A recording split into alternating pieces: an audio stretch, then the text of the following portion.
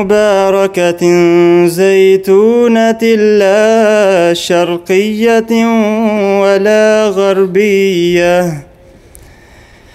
يكاد زيتها يضيء ولو لم تمسسه نار. نور على نور. يهدي الله لنوره من يشاء ويضرب الله الأمثال للناس والله بكل شيء عليم. في بيوت أذن الله أن ترفع ويذكر فيها اسمه. يسبح له فيها بالغدو والآصال. رجال لا تلهيهم تجارة ولا بيع عن ذكر الله. وإقام الصلاة وإيتاء الزكاة. يخافون يوما تتقلب فيه القلوب والأبصار. ليجزيهم الله أحسن ما عملوا ويزيدهم من فضله. والله يرزق من يشاء بغير حساب.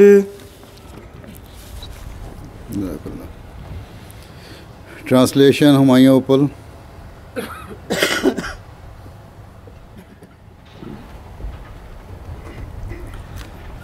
Assalamu alaikum.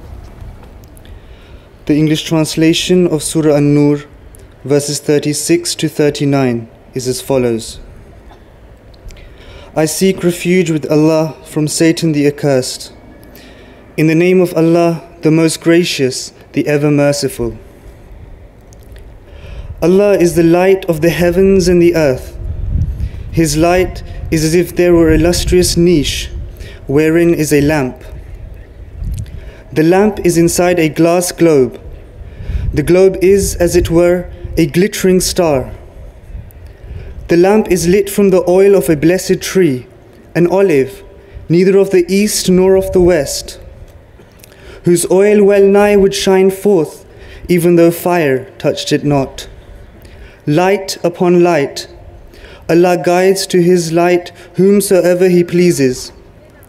And Allah sets forth parables for men, and Allah knows all things full well. This light illumines houses, with regard to which Allah has ordained that they be exalted, and that His name be remembered in them.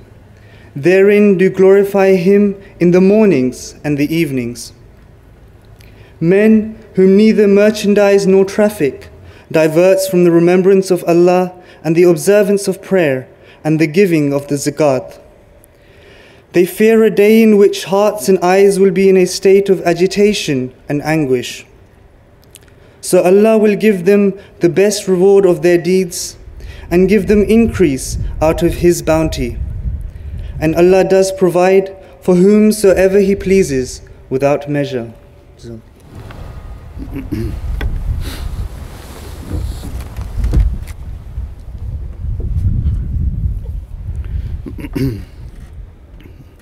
السلام عليكم ورحمة الله.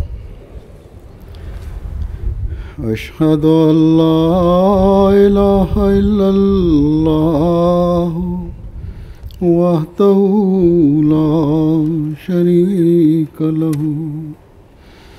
وأشهد أن محمدا عبده ورسوله. أما بعد، فأعوذ بالله من الشيطان الرجيم. بسم الله الرحمن الرحيم.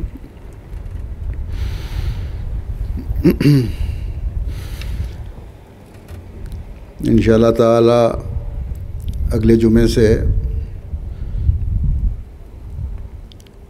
جماعت احمدیہ برطانیہ کا جلسہ شروع ہو رہا ہے اور آپ لوگ جو اس وقت میرے سامنے ہیں، انہوں نے اس جلسے کے انتظامات کے تحت کام کرنے کے لیے اپنے آپ کو پیش کیا ہے یا ان کے ذمہ، ان کی ذمہ داریاں لگائی گئی ہیں۔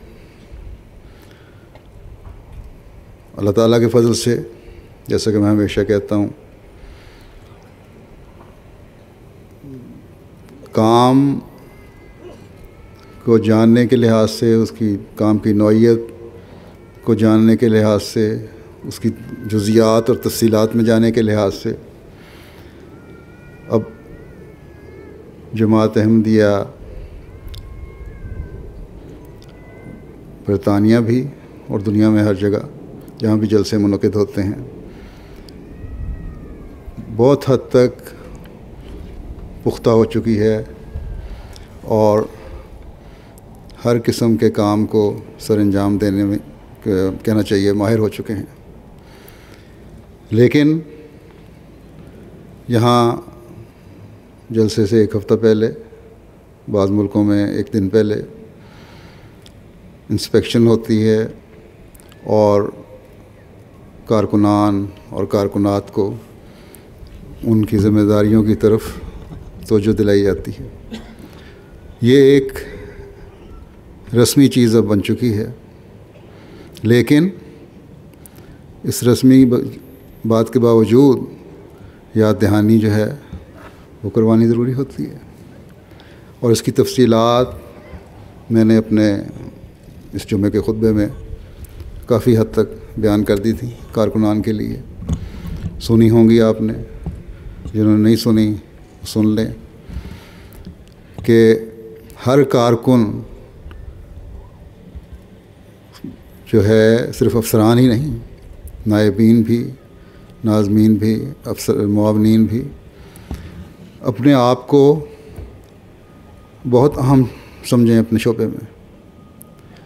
ہر معاون جو ہے، وہ اسی طرح اہم ہے جس طرح اس کا افسر۔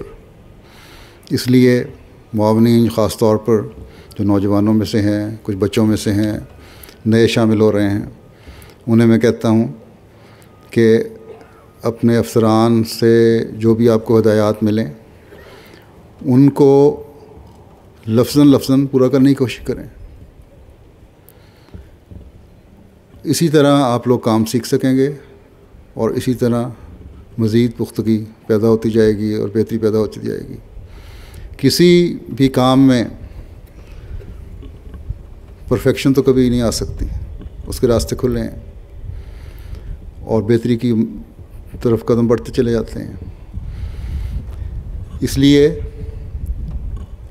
افسران بھی یہ یاد رکھیں کہ اپنے اپنے شعبے میں مزید بہتری پیدا کرنے کے لیے، کیونکہ سالہ سال اب ہو چکے ہیں، ایک ایک شعبے میں کام کرتے ہوئے افسران کو، ناظمین کو اس میں مزید بہتری کی کے بارے میں سوچیں اور آئندہ سال کے لیے تجویزیں بھی دیں اپنے نقائص کو سامنے رکھیں اور یا کمیوں کو سامنے رکھیں اور آئندہ انہیں بہتری کی طرف توجہ دیں۔ اور یہی چیز اپنے معاونین کو بھی سمجھائیں، نوجوانوں کو بھی سمجھائیں کہ کام میں بہتری کے لیے میدان کھلا ہے۔ اس لیے جو تمہاری ذمہ داری لگائی گئی ہے، اس کے مطابق کام کرو جو ہدایات دی گئی ہیں اور مزید بھی سوچتے چلے جاؤ۔ بعض دفعہ نوجوان بھی بچے بھی اچھے مشورے دے دیتے ہیں۔ اس لیے افسران کی بھی بات سن لیا کریں۔ ایک تو یہ چیز ہے۔ دوسرے، ہر کارکن، صرف سیکیورٹی کے کارکنان نہیں، ہر کارکن جو کسی بھی شعبے میں ہے وہ ہوشیار ہو کر اپنے کا جہاں فرائض سر انجام دے رہا ہے، وہاں اپنے گرد و پیش کا جائزہ بھی لیتا رہے۔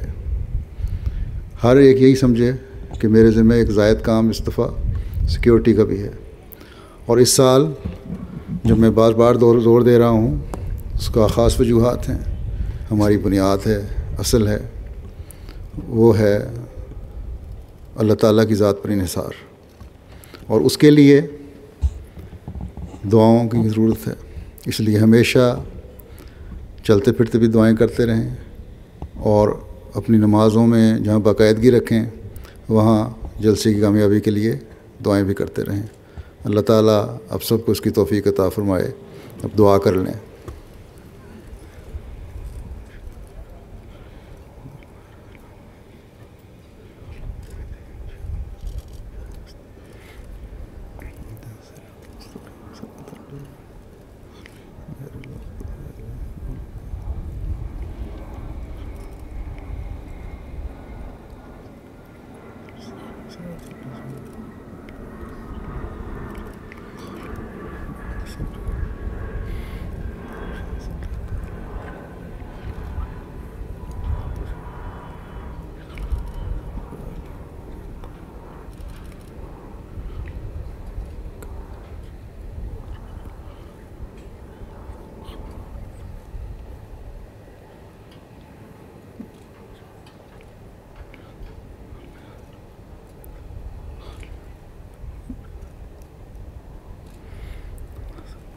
آمین۔ السلام علیکم ورحمۃ اللہ۔